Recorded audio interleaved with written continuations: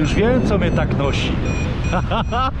Cholera, ja myślałem, że tutaj komin centruje, a tu chmurę wycentrowałem, kurwa. Tak, ładnie mnie ciągnie do góry, cały czas. Cały czas ładnie mnie ciągnie tutaj do góry.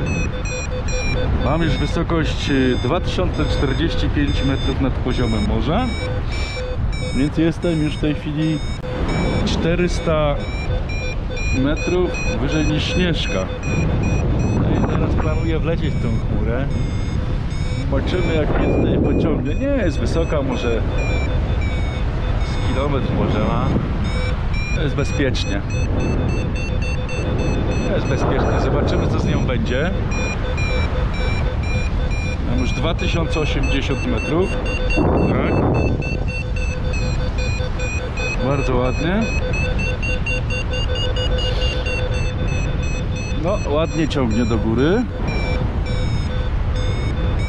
Ładnie ciągnie. Zaczyna się robić zimno już. Daj.